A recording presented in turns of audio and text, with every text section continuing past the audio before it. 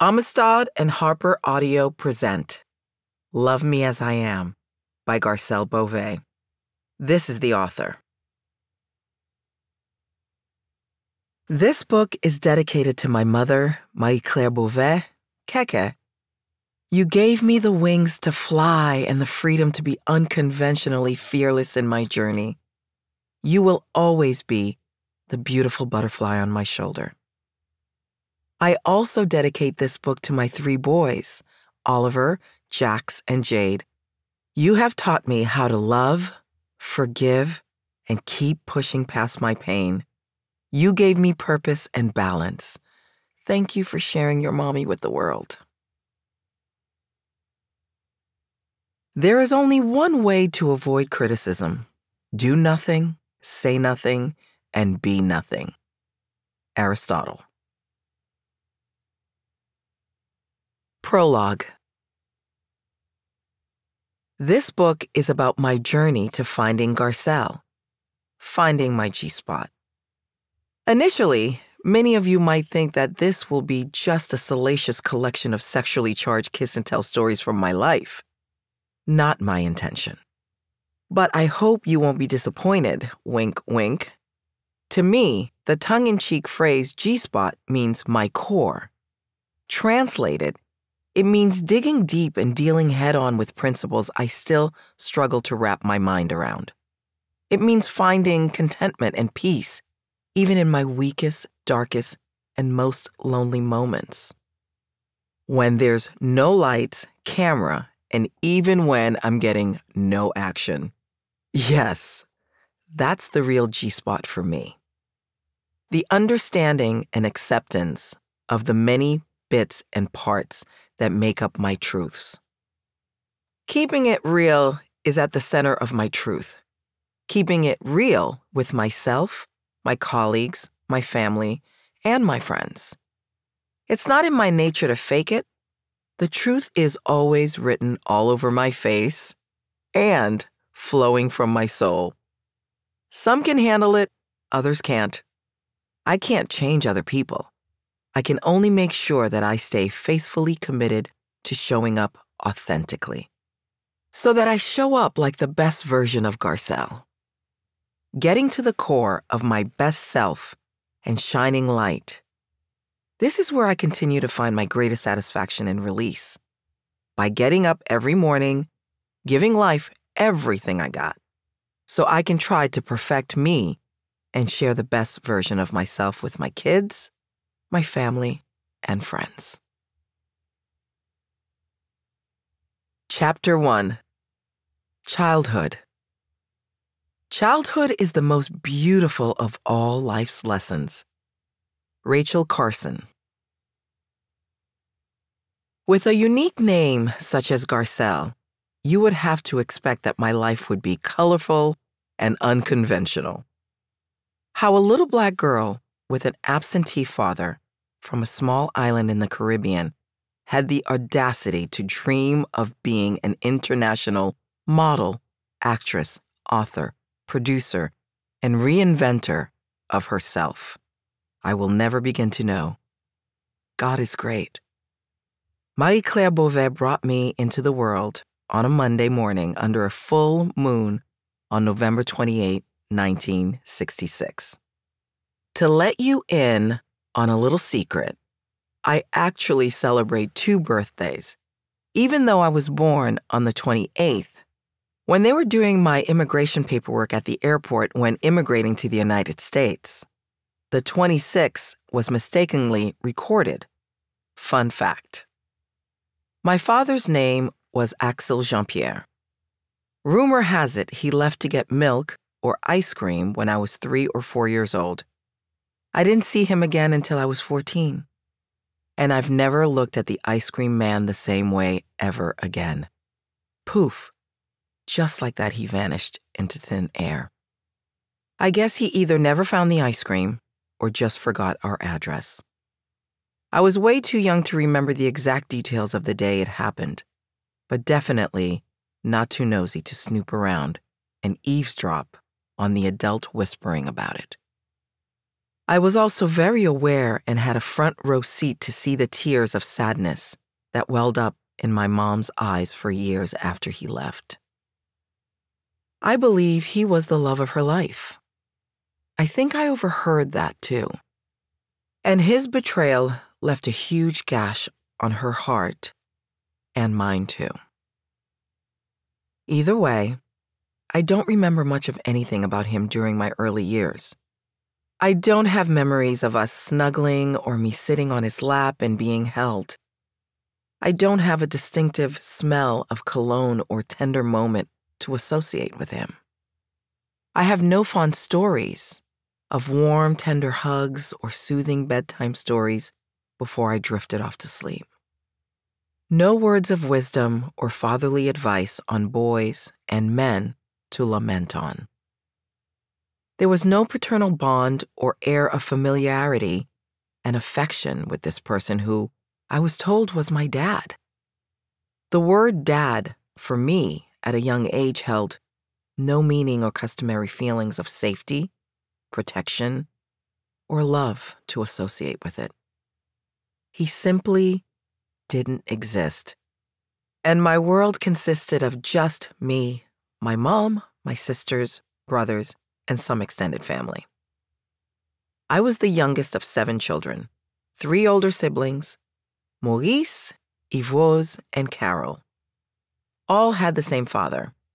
Then came my sisters Gladys, Chantal, and my brother Elie, who had another father. They happened to grow up in Montreal, Canada with their father. Then there was me, whom my mother had with my father, Axel Jean Pierre. I never took his last name and I ended up with my mother's maiden name instead. I was Pini Pinigrit, or Skinny Twig, as my brother Maurice referred to me.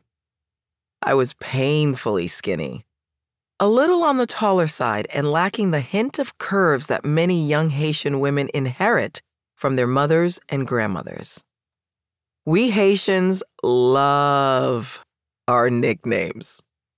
I was so skinny that my older sister Carol, who loved sewing and making dresses, would call on me when she needed a ruler. She would tell me to lie down and then use my legs like a big stencil to trace out fabric lengths. Desperate to gain some weight, I would eat and immediately lay down, hoping that the food would settle and miraculously stick to my bones, creating extra curves. I hated my protruding wings on my back, as I call them. I agonized that I looked like I was going to fly away in the wind because my shoulder blades stuck out so much. Oh, and because they made me feel self conscious. I hated wearing halter tops. What I wouldn't do to go back and tell that little girl that those lovely bones and never ending twig like legs would be her blessings instead of her curses in life. I was never given a middle name. Instead, I embraced my nickname, not the Pinigrit one, but the name Gashu.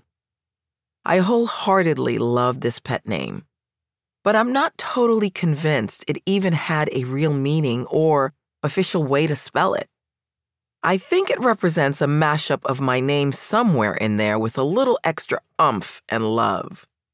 Looking back now, I think I love the name Gashu because it made me feel loved and instantly defined me culturally.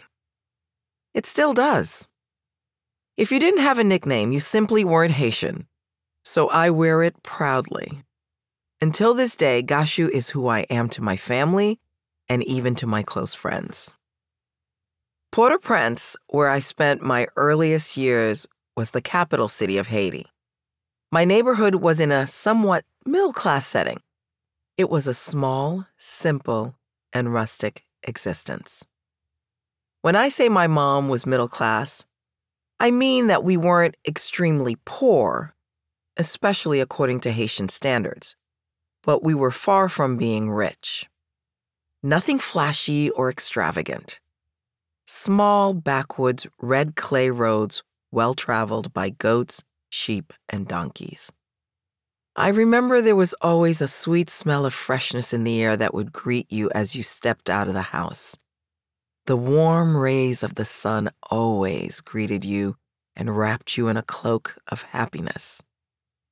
I used to love to squint into the sun until my eyes would water and then blindly walk around feeling my way to familiarity. My mom would oil my hair and do it up in one or two pigtails with bright yellow ribbons, depending on her mood. It made me feel special, beautiful, and loved. Majestically fragrant hibiscus and birds of paradise often lined pathways and created a visual landscape much like a living art gallery. While I walked to and from school accompanied by my caretaker, I would count the flowers while eating fresh tangerines. Ah, the smell of fresh tangerines still brings back such warm memories. My mom would tell me that I would happily skip and dance carefree along the pathway in my bright blue plaid school uniform. It may sound idyllic, especially in contrast to the backdrop of the harsh realities of Haiti during that time.